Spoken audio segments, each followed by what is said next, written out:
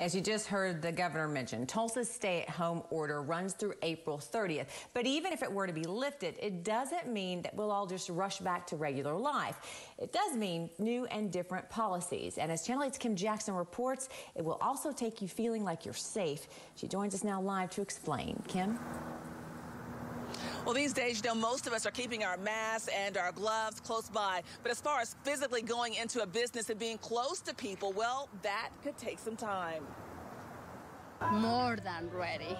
I'm so ready to reopen again. Estella Rodriguez is offering delivery and carryout at Fiesta Mambo, trying to survive. But even though she's ready, she's concerned about herself, her employees, and the customers. When we open again, I think our um, co-workers in there, they need wear gloves, probably masks for I don't know, probably a month or something. Servers wearing masks and gloves and buildings with limited capacity, those are some options that offer comfort to some. Probably limiting capacity would be helpful.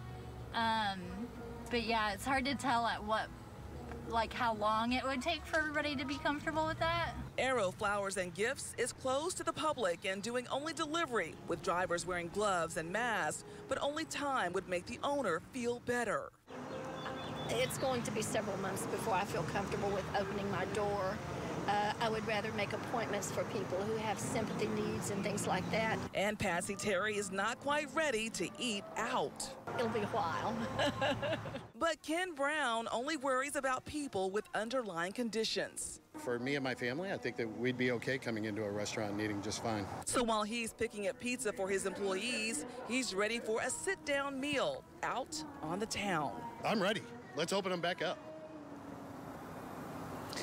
So the mayor here in Tulsa says it won't be quite that simple. He says it will take some time, some evaluation, and could, they could mirror actually what happens in other cities.